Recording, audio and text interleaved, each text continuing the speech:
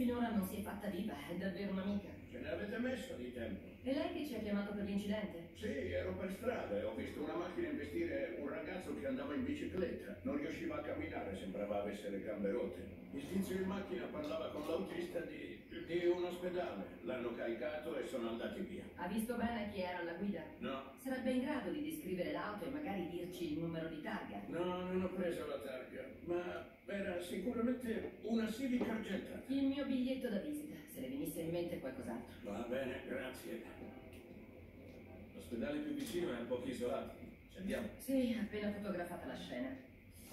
Ah, certo. Quello è il tuo telefono di servizio? Oh no, eh, quello è nella valigetta. Ok, allora ti farò una domanda, ma sia chiaro che non sei obbligato a darmi una risposta.